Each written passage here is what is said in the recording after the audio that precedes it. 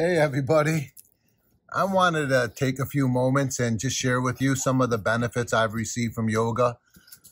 Um, it's really hard to encapsulate all those benefits in a short video, but, um, you know, maybe just a little tiny overview. Uh, you know, first of all, I've always been kind of a, you know, a fitness freak. You know, for a long time, I really felt like health originated from my body. So, you know, my, my physical endeavors were um, eclectic and, um, you know, all encompassing. And, you know, I've never really found anything else besides physical yoga that um, gives me such an opportunity to take care of my body.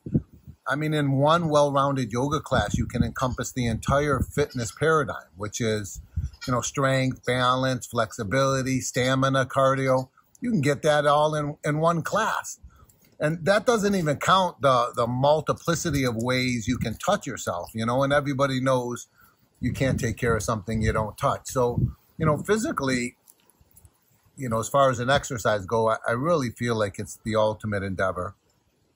But as I said before, you know, uh, you know, originally I thought that physical health came from our physicality, but you know, now I've come to understand most of our physical health comes from a calm and peaceful mind. And you know, yoga addresses that too. Not only addresses that, it it probably addresses that in, in more so than any other endeavor.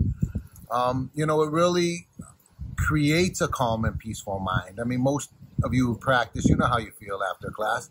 But even more importantly, that it gives you the tools to to cultivate that.